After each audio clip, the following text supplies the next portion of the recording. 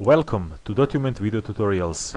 The topic of this episode is installing Microsoft SQL Server 2008 Express Edition and configuring it for work with a manual Software Document. Once you install the Dotument, you get out-of-the-box ready-to-use product that is able to store your documents and requires literally no configuration. Many users actually don't want to care about the storage and technical aspects of the application. It should simply work. This is why the Dotument installation itself is one of those next, next, next installations. The local storage that is built in the Dotument is tested against several thousands of the average documents and turned out to perform very well for most of the needs. However, if you have need for full text search and more powerful backend, you will have to install Microsoft SQL Server 2005 or higher.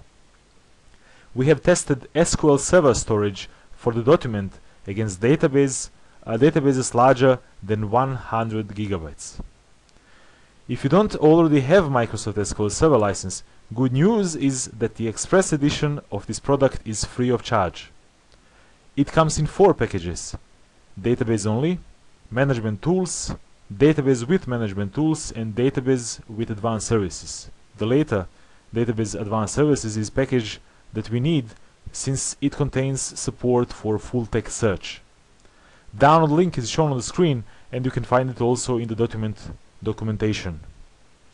Installation of the SQL Server 2000 Express is not very complex, however it requires certain settings and this is what this video tutorial is all about. Now before we go on with the hands-on, let me point out few important notes about SQL Server's full text search. When you install SQL Server, it supports, it supports basic file types like text or HTML documents. What is very likely is that you are gonna store other popular document types in your Dotument that you would uh, also like to perform full text search against.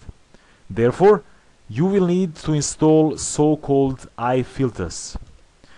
To simplify it, we can say that iFilter is a grammar for particular document type.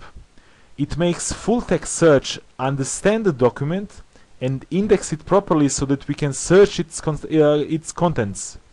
Cool thing about the iFilters is that they exist for virtually all searchable documents you can think of. We will list here just the common ones. CHM for example with the link provided to download, PDF and Microsoft Office documents or Microsoft Office uh, iFilters for the for its documents. Okay, so let's see how this really work. Okay, so once you copy paste the provided link, this is the page that will show uh, that will show up in your in your browser. Now, before we go on further, let me let me tell you something. Um, all this might turn out to be a big hassle for many users at the end it really is a big hassle since you will need to install many things um, you might need to uh, install some um, uh, prerequisites actually like .NET Framework and so on as you will see um, in a couple of seconds. You will need to install SQL Server itself, you might need to install additional iFilters and so on and so on.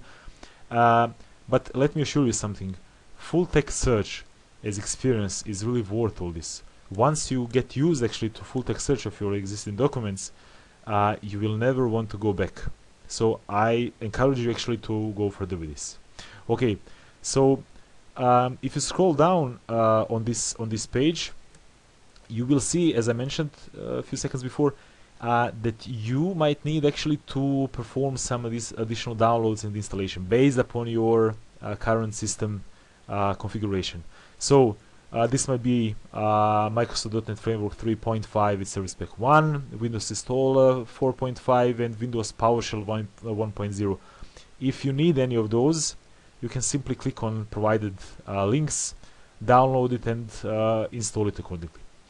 Uh, once those requirements are met, you can go further and finally download and install SQL Server Express uh, based upon your operating system version, you might opt to go for 64-bit edition of SQL Server or 32-bit edition. Since our demo machine is running on Windows XP 32-bit edition, this is actually the package that we are going to download. Now, since uh, as you can see actually from the file size uh, this piece is larger than 500 megabytes.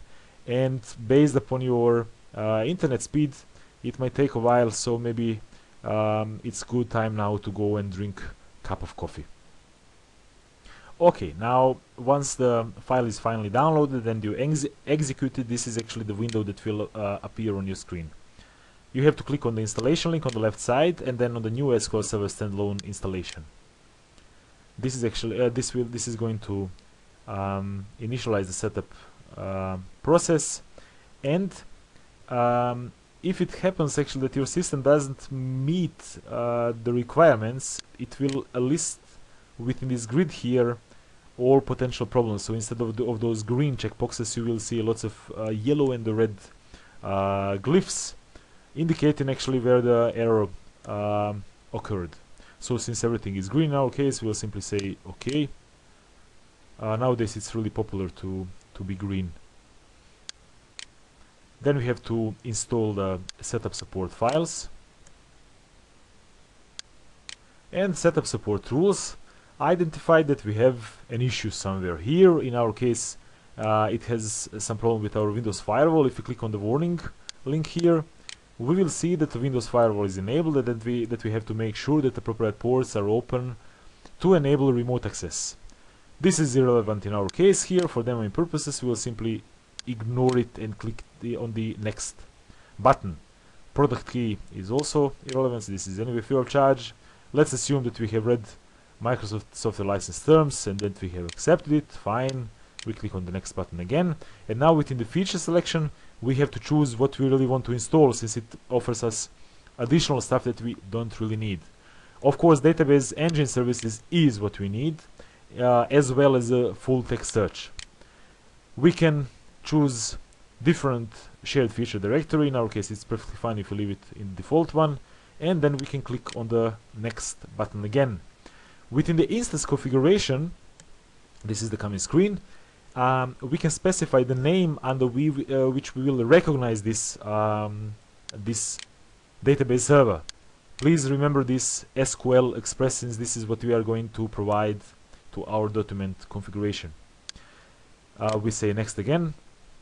And then within the disk space requirements we see the overview of the disk space used after the installation is finished. Now another important point. This is the server configuration. Here uh, we can specify the account name under which this service is going to be executed. Um, this account name in our case is going to be the network service account. There is no password. And uh, another important thing here is this actually. Uh, this service here that is called SQL full text filter daemon launcher. As you can see here Microsoft suggests that we use uh, the low privilege account um, in order not to corrupt our uh, security on the system. Actually for this demoing purpose it is perfectly fine if we choose again uh, the network service. And this is what we are going to do here. We cannot choose it from the list. We have to um, find it on our own we are going to type in network service here and we are going to check the names. It found it fine. We will say okay and that's everything that we need on this page. We'll click on the magical next button again. Uh, what we're going to do here on this account provisioning we will add current user as SQL Server Administrator.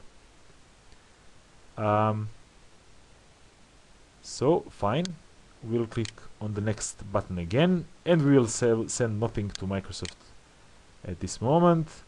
Again as you can see uh, this setup procedure actually uh, tex, uh, tests our patience and clicking possibilities because after every, every single step it lists here some overview of the requirements if they are met or they are not. Okay they are fine now. Again luckily we'll say next again. And finally we can click on the install button. Now since this is the procedure that will also take a while you might go for your second cup of coffee. Okay so once the setup pro uh, process completes um, it will give you an, uh, another overview. You will click on the next button again and finally close the installation. We will close this window as